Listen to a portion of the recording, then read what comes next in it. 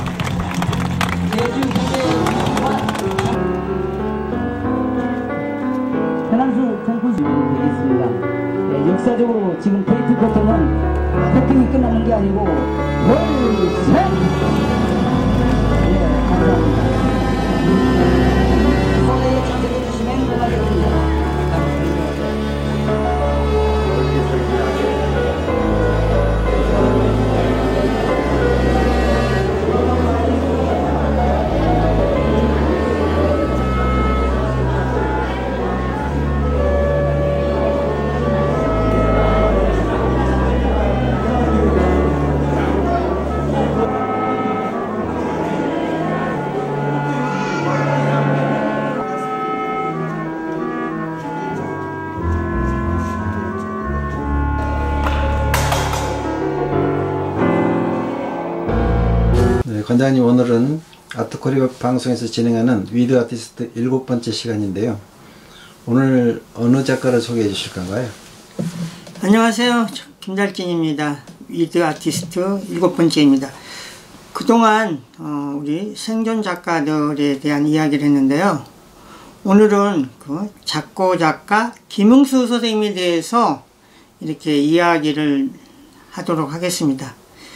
김흥수 선생님, 우리 미실사에서 이렇게 빼놓을 수 없는 그런 분이죠. 그분이 1919년 에 태어나셔서 2014년에 돌아가셨어요. 그래서 95세 향년 나이로 돌아가셨고, 또 그분이 돌아가신 지가 2014년이니까 이제 7년 됐네요.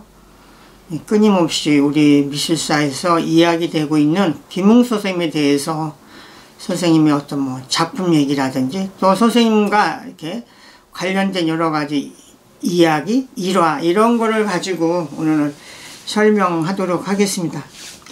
김웅수 선생님에 대한 거는 뭐 그동안에 뭐 많은 곳에서 뭐 화집이 많이 나왔죠. 그래서 여기 지금 화집 자체가 다 지금 저 이제 김달진 미술자료박물관에 소장되어 있는 이런 도록인데요. 이런 것들이 뭐 워낙 많이 나와 있고 또 우리 선생님을 얘기할 때는 하모니즘의 창시자라 이런 얘기도 하는데 그 하모니즘에 대해서는 이따가 잠깐 말씀드리도록 하죠. 그래서 선생님이 또 이렇게 처음에 그림 같은 건 우리의 어떤 그 전통적인 민속이라고 할까 이런 거에서 그림을 이렇게 소재를 삼아서 그리기도 했고요. 이것이 이제 우리가 뭐 얘기하는 하모니즘 이 얘기인데요. 또 국립현대미술관에서 선생님 그런 초대전도 있었었죠. 그래서 하모니즘은 여기에 보여주는 것처럼 한쪽에는 약간 기하학적인 어떤 추상, 또 한쪽에는 또 여인의 어떤 누드. 그래서 어떻게 보면 한 화면에 구상과 비구상, 추상이 함께 어울려져 있는 이런 화면 구성을 해서 이거를 하모니즘이라고 이렇게 지칭하면서 선생님이 또 하모니즘의 주창자다 이렇게 얘기를 했었었죠. 그래서 이런 하모니즘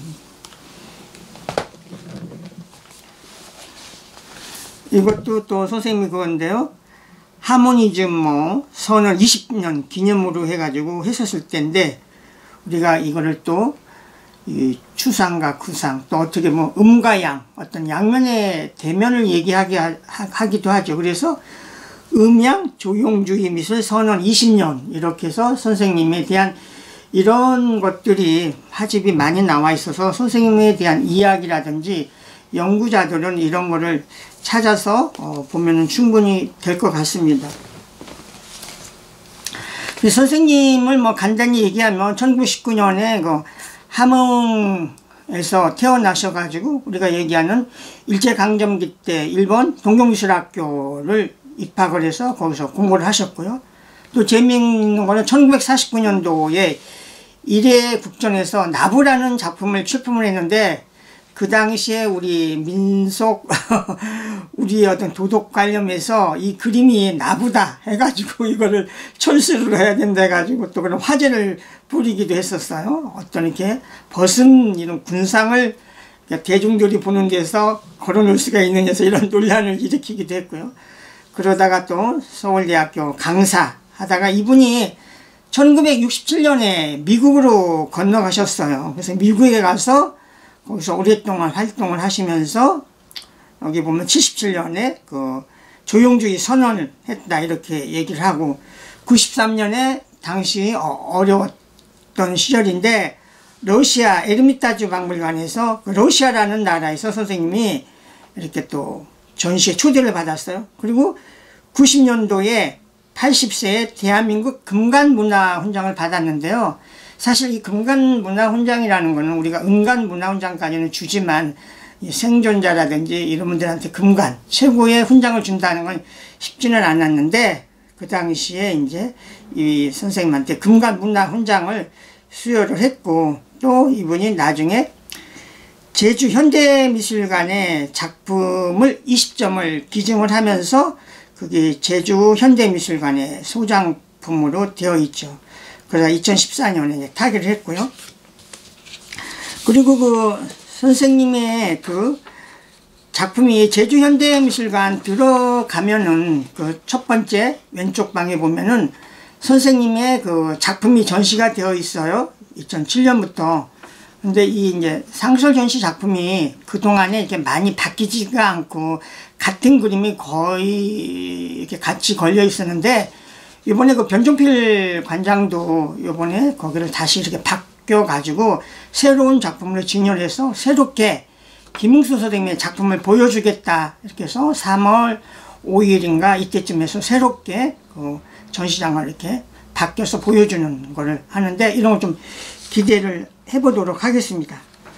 네, 선생님이 그 2002년에 지금 그 종로구 평창동 거기에 선생님이 김흥수 미술관을 개관했습니다. 그래서 그 당시에 그 사진 컷이 있는데요. 그래서 그 2002년에 선생님이 여기에 미술관을 건립을 해서 이게 그때 개관식 때 사진들입니다. 그래서 이 건물을 지면서 약간 또 어떤 민원 이런 것이 제기가 돼가지고 좀 이렇게 마찰도 있었는데 어쨌든 정식적으로 이게 허가가 나서 이제 개관도 했고 또 선생님이 여기에서 선생님이 그 미술 영재 교육을 일찍 주장을 했었거든요. 그래서 이 김웅수 미술관에 오기 전에 예술의 전당에서 미술 영재 교육이라고 해서 그 어린이들 중에서 어떤 천재성이 보이는 이런 학, 어린이들을 뽑아서 교육을 시키면서 이 영재 교육의 중요성을 일찍 강조를 했었죠. 그래서 그것이 이 평창동 이 김웅수 미술관에서 이어지기도 했었고요. 또 그 이후에는 여러 가지 사정에 의해서 지금은 그 김웅수 미술관이 금보성 선생이 인수를 해서 지금 금보성 아트센터를 운영하고 있죠. 그래서 거기에 그 넓은 장소에서 좋은 전시가 지속적으로 열리면서 지금은 금보성 아트센터가 과거에 김웅수 미술관이었던 거 이런 걸 또 사실 모르시는 분들은 잘 모르는데 그것이 어, 이렇게 연계가 됩니다. 그리고 또 선생님이 그 제주도에 가면 제주의 그 저지리 마을이라고 있습니다. 거기는 이제 정책적으로 많은 미술관이 들어서 있고 또 개인 어떤 스튜디오가 들어서 있는데요. 거기에 가서 보면은 김웅수 미술관 이라고 하긴 좀 그렇지만 김웅수 아뜨리에라고 할까요? 제주 현대미술관을 들어가면서 초입에 거기에 그 기념관이 만들어져 있습니다. 그래서 저도 제주에 가서 현대미술관을 가게 되면 여러 차례 들렸는데요. 그 선생님이 거기서 어, 어떤 이런 아뜨리 기념관이죠. 기념미술관을 만들어서 이렇게 전시를 쭉 하고 있습니다. 그래서 여기는 작품보다는 선생님의 어떤 관련된 사진 또 여러 가지 아카이브 자료 이런 것들을 해서 여기 어쨌든 김웅순 김웅수 아띠리에라고 명명하면 좋을 것 같아요. 이런 것을 보여주고 있는데요. 여기도 이제 앞으로는 조금 더 활성화를 위해서 노력을 하겠다. 그래서 선생님의 이런 유품 이런 것들이 거기에 다 전시가 되어 있습니다. 그래서 작은 건물인데 1층과 2층이 있습니다. 2층에 올라가면서 보면 또 선생님 했었던 포스터 이런 것들이 쭉 전시되어 있고요. 또 선생님을 이야기할 때는 우리가 또 선생님의 어, 떤 그 결혼에 대한 이런 얘기를 할 수밖에 없는데요. 이게 그 서양화 원로 작가 김정 선생님이 저희 서울 아트 가이드에 김정의 미술인의 추억이라는 거를 이렇게 글을 쭉 써가지고 나중에 이걸 책으로 만들었어요. 그때 이제 그 김정 선생님이 김응수 선생님의 결혼식에 대한 이런 재미있는 이야기를 썼습니다. 이것이 그의 결혼식이 1992년 1월 19일 날 신라 호텔 웨딩홀에서 12시에 진행을 했다. 하객은 100명만 제한을 했는데 그것은 딱 100살 이상 살아야 한다는 신랑 신부의 아이디어였다. 신랑 나이가 신랑 나이가 많아서 그 당시 초대됐던 분이 우리 원로 선생님 권옥연, 이종무, 임직순, 최덕규, 김서봉 등 노년층이 70%였고 나머지 하객들이 50대와 신부 측 하객이었다 이런 얘기를 하면서 그 당시에 결혼식 이 장면을 이렇게 드로잉 스케치를 해가지고 김정 선생님이 이렇게 남겨줬습니다. 그래서 그 당시에 결혼 사회는 우리가 너무나 잘 아는 김동건 아나운서가 사회를 받고 주례는 김종필 지금 돌아가셨죠. 그 전 국무총리. 그래서 연예인 결혼식처럼 화려했다. 우리가 잘 아는 신부는 43세 연하. 그 선생님이 미국에서 돌아와서 독성여대 이렇게 강의 나가면서 만난 제자와의 그 결혼이다. 그래서 굉장히 우리가 또 화제를 모으기도 하고 또 독특했던 삶이죠. 그래서 이런 선생님 그 결혼과 이런 거에 대한 또 재미있는 에피소드라고 해야 될까 이런 것도 이제 많이 가지고 계신 선생님입니다. 네, 그래서 그 제자인 장수현 선생님하고 이렇게 결혼을 해서 사셨는데 좀 안타깝게도 2012년 11월에 그 부인 장수연 선생님이 먼저 타계를 했죠. 그래서 젊은 부인이 먼저 타계를 하고 또 김웅수 선생님은 2년 후에 2014년에 이렇게 또 타계를 했습니다. 그래서 어 거기서 일단 얘기는 끝나고요. 이제 선생님의 그 작품이라든지 그 자료를 가지고 조금 더 말씀을 드리도록 하죠. 이 선생님의 초기의 작품인데요. 남을 캐는 여인이라고 이게 1954년도 작품입니다. 이 작품이 많이 알려진 거는 1972년도 한국 근대미술 60년 전에 나왔던 작품이고요. 이 작품은 그 당시 반도호텔에 소장이 되어 있었던 선생님의 초기의 대표작 중에 하나라고 할 수 있습니다. 그래서 이런 구상적인 이런 작품을 선생님이 그리셨었죠. 이것도 뭐 선생님의 그 초기의 작품, 그 두동무라는 1957년도 작품이고요. 그리고 또 선생님이 그 60년대 초에 프랑스, 파리로 어, 유학을 공부를 하러 떠난 거죠. 그래서 선생님이 또 일찌감치 파리에서 또 서구의 현대적인 미술 이런 거를 접했습니다. 그래서 이게 어, 한물 지난 추상화에서 어, 파리의 어떤 화단의 근황을 이렇게 당시 민국일보 61년 6월 2일자였는데 여기 이렇게 전해주기도 하고 또 선생님이 어, 파리의 화가들이라는 이런 글을 써서 국내에 이렇게 기고도 하고요. 선생님의 그 초기에 이런 작품들을 볼 수가 있습니다.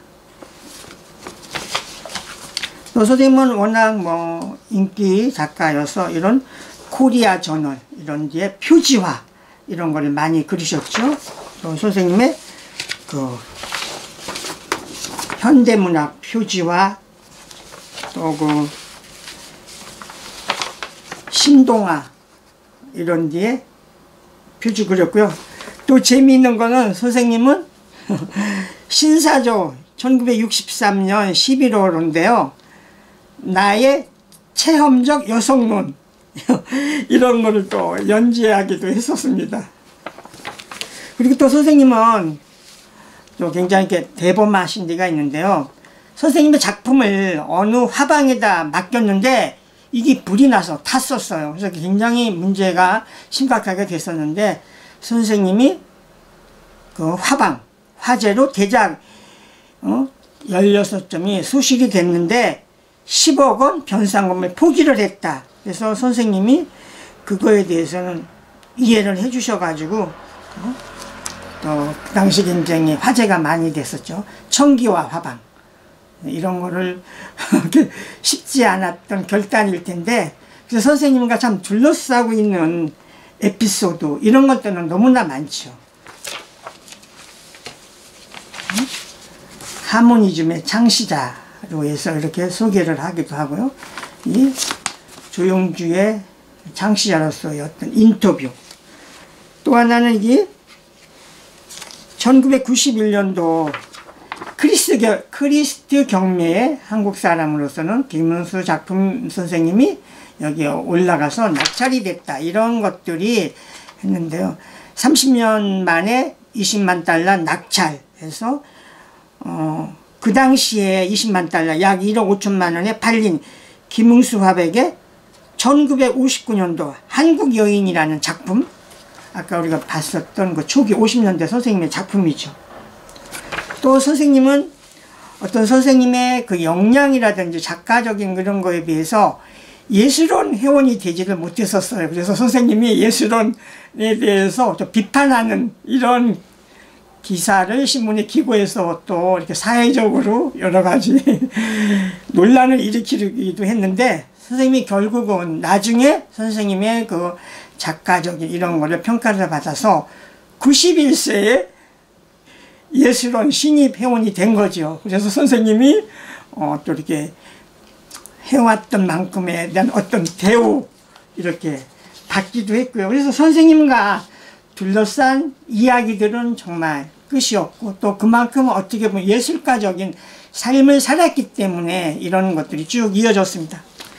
또 하나 이제 안타까운 거는 선생님이 파괴 이후에 그 아드님이 어떤 상속세 문제를 가지고 여러 어려움을 겪다가 어느 재단하고 작품을 기증하고 거기서 미술관을 만들어 주기로 했는데 이것이 양쪽의 입장 차이 또 이런 것 때문에 결국은 이게 매일경제 2017년 12월 21일자 기사인데요. 김웅수 화백 유작 70여 점 법적 다툼에 서게 됐다. 미술관 건립 약속 안 지켰다. 장남 김용, 김영하 선생은 무슨 무슨 재단을 고소를 하고 그래서 법적 다툼이 이뤄졌고요. 최근에 이제 그 자제 김용환 선생님하고 통화를 제가 하기까지 했는데요. 그것이 지금은 조정 단계에 들어갔다고 얘기를 합니다. 그래서 이것이 잘 조정이 돼서 어, 김웅소 선생님에 대한 어떤 미술관 이런 것들이 만들어져서 우리 김웅소 선생님이 조금 더 우리 미술사에서 더 이렇게 자리매김이 되고 또 평가를 받았으면 합니다. 그래서 오늘은 김웅 선생님에 대한 어떤 에피소드를 중심으로 해서 말씀을 드렸습니다. 감사합니다.